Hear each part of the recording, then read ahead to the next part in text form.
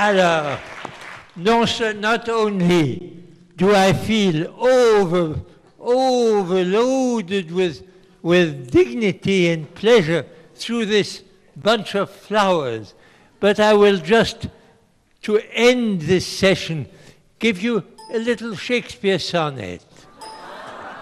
Let us try whether it comes out well. It's all about love, and we need love to make progress in human rights.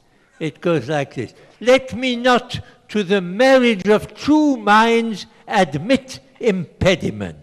Love is not love which alters when it alteration finds or bends with the remover to remove. Oh no, it is an ever fixed mark that looks on tempests and is never shaken.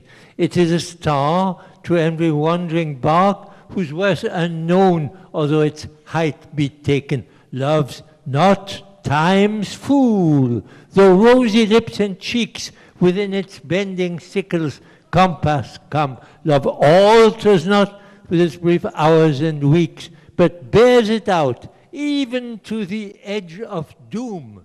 If this be error, and upon me proved, I never writ, nor no man ever loved.